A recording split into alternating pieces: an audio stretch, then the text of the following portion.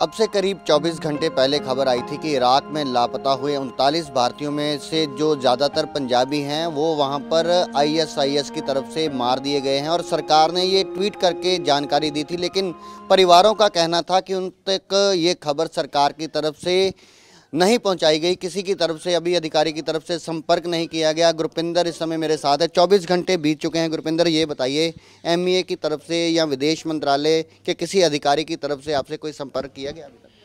नहीं सर, अभी तक किसी की तरफ़ से कोई कांटेक्ट नहीं हुआ, ना ही सेंट्रल गवर्नमेंट की तरफ़ से कोई और ना ही स्टेट गवर्नमेंट की तरफ़ से। जो भी खबर हम देख रहे हैं, जिस टीवी पे देख रहे हैं आगे आगे फर्दर उन्होंने क्या करना है? बॉडीज़ का पानी या कुछ हर चीज़ हम मतलब जानना चाहते हैं लेकिन उसके लिए हमारे पास एक सहारा सिर्फ़ टीवी है। टीवी से देख रहे हैं। आपकी तरफ़ से कोई कोशिश की गई संपर्क करने जी तीन चार परिवारों ने काफ़ी कोशिश की है। काफ़ियों का उन्होंने फ़ोन नहीं उठाया और एक फैमिली का उठाया उन्हें कोई उन्होंने सेटिस्फैक्ट्री आंसर नहीं दिया। आप चार साल से लगातार विदेश मंत्रालय के संपर्क में थी, बारह बार करीब आप मिल चुकी हैं सुषमा जी को। और इस समय ये बड़ा दुख वाली घड़ी है कई परिवारों के लिए, पूरे भारत के जो उनतालीस परिवार हैं, उनके परिवार के सदस्य इस समय उन्होंने उनके मुताबिक वो इस दुनिया में नहीं रहे, एक बड़ा सदमा है। लेकिन ऐसे समय में उनके द्वारा आपके साथ संपर्क ना करना, इस पूरे मामले को आप किस तरह देखते हैं? सो so, ये चीज़ बहुत हर्ट कर रही है परिवारों को क्योंकि वो आ, हमारी विदेश मंत्री को ना बहुत ही ज़्यादा लाइक देवी की तरह देख रहे थे कि वो हमारे बच्चों को वापस ले आएँगी। चलो उनके हाथ में नहीं है किसी को ज़िंदा या मुर्दा वापस लेके आना उनके हाथ में नहीं है। वो हमारी किस्मत है उन लड़कों उनतालीस लड़कियों की थी। लेकिन इतना तो हो सकता था कि वो सहानुभूति के तौर पे एक बार परिवारों के साथ ये चीज़ शेयर कर लेते। तो शायद कहीं ना कहीं तो मलाल कम होता अपने बच्चों के जाने का। दूसरी तरफ़ इस पूरे मामले पर हल हर राजनीतिक पार्टी की तरफ़ से बयान दिए जा रहे हैं राजनीति की जा रही है। उसको लेकर जो परिवार हैं उनके मन में क्या चल रहा है? सर परिवार तो सारे सदमे में हैं। मेंटल स्टेट ऐसा है कि कुछ समझ नहीं आ रहा क्या सही है, क्या गलत है, क्या सच है, क्या झूठ है। लेकिन इतनी रिक्वेस्ट ज़रूर मैं करना चाहूँगी सारे परिवारों की तरफ़ से कि ये चीज़ें हर्ट करती हैं उनको। पीछे क्या हुआ, कैसे हुआ, उसे छोड़ के अगर इन परिवारों के फ्यूचर के लिए सोचा जाए तो वो बेटर है। ज़्यादातर परिवार गरीब हैं। यही कारण आपने बताया था कि वो नौकरी की जो तलाश में वहाँ गए थे और वहाँ पर उनके साथ ये सब हुआ। तो कैसे कैसे परिवार हैं? अगर परिवारों के हालात की बात करें तो वो क्या हैं?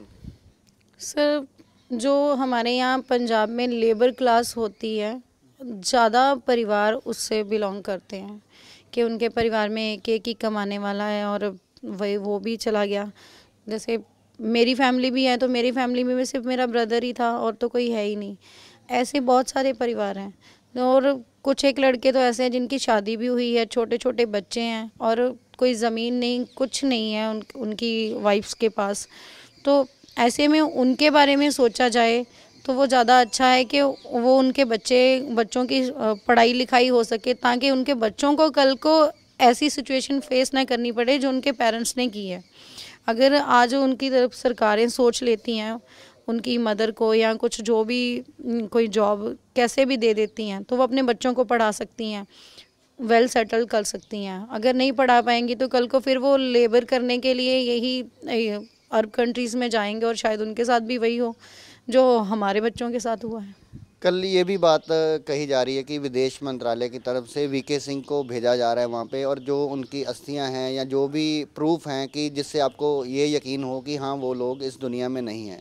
उसके अलावा आपकी तरफ़ से कल मांग की गई थी कि जो डीएनए रिपोर्ट्स हैं वो दी जाएँ। वो मांग आपकी अभी भी कायम रहेगी या उनकी बात के साथ आप सहमत हैं? नहीं सर, देखिए, एक अपने परिवार का बंदा अपनी, आपकी आँखों के सामने चला जाए, आप अपने हाथों से सारे रिचुअल्स उसके कर लो तो आपके दिल को तसल्ली हो जाती है। मतलब कि हाँ चला गया, हमारी आँखों के सामने गया। ये तो पाँच पाँच साल हो गए गए देखे भी नहीं हमने। तो एटलीस्ट हम इतना तो चाहेंगे कि मतलब कोई भी स्केल्टन देख के हम ये ये नहीं कह सकते कि ये हमारा बच्चा है। तो उसकी आइडेंटिफिकेशन तो एटलीस्ट हमें देनी चाहिए गवर्नमेंट को कि हाँ ये आपका बच्चा है, इसकी ये आइडेंटिफिकेशन हमने इस बेस पे की है कि ये मनजिंदर सिंह है, ये हरसिमरन है। जो भी है, तभी हम उनको ले पाएँगे अपने जो भी जहाँ हम अंतिम संस्कार करते हैं, जहाँ दफनाना है, कुछ भी उस उस बेस पे ही करेंगे। चौबीस घंटे पहले जब ये खबर आई थी तो आपने यही नाराज़गी ज़ाहिर की थी कि आपको मंत्रालय की तरफ़ से या सरकार की तरफ़ से नहीं बताया गया। चौबीस घंटे बाद भी आपकी वही मांग है। तो आप इस समय विदेश मंत्री और प्रधानमंत्री नरेंद्र मोदी को इन परिवारों की तरफ़ से क्या कहना चाहेंगे? सो so, मैं इन परिवारों की तरफ़ से सारे परिवारों की तरफ़ से यही कहना चाहूँगी कि ठीक है, आपने उनको ढूंढा, चलो, आपके हाथ में नहीं था उनको ज़िंदा लाना, नहीं ला पाए। अगर आप कह रहे हो कि आपको उनके अवशेष मिले हैं तो वो अवशेष हमारे तक ला दें और हमें उनके आइडेंटिफिकेशन करवा दें कि ये ये इसका है, ये आपकी, इस फैमिली का है। वो करवा दें और दूसरा, परिवारों के फ्यूचर के लिए वो ज़रूर सोचें, क्योंकि परिवारों, जो ज़्यादातर परिवार हैं, वो बहुत ही बुरी हालात में हैं। तो उनके लिए ज़रूर सोचें। ये ना हो कि जैसे वो 84 के 1984 के पंजाबी आज तक वैसे ही रुल रहे हैं सड़कों पे, वैसा ना हो इनके साथ भी, क्योंकि ये भी तो आतंकवाद के ही शिकार हुए हैं। यह गुरपिंदर, इनका कहना है कि सरकार की तरफ़ से 24 घंटे बीतने बीतने के बाद भी कोई परिवारों के साथ संपर्क नहीं किया गया। और दूसरी सबसे बड़ी बात इनकी ये है कि जो उनतालीस भारतीय सरकार के द्वारा कहा जा रहा है कि इस दुनिया में नहीं है, उनके अवशेष जो हैं, वो जल्द भारत लाए जाएँगे। लेकिन गुरपिंदर का कहना है कि सरकार परिवारों को कम से कम कोई ऐसा सबूत ज़रूर दे जिससे उनको ये पता चल सके कि ये अवशेष सच में ही उनके ही परिजनों के हैं और इसके साथ ही उन्होंने मांग की है कि जो लोग इराक में गए थे आईएसआईएस ने जिन्हें मार दिया था, वो ज़्यादातर गरीब वर्ग से संबंधित संबंधित हैं और सरकार के तरफ़ से उनके परिवारों के लिए भी कुछ ना कुछ ज़रूर सोचना चाहिए। राजीव शर्मा, दैनिक सवेरा, अमृतसर।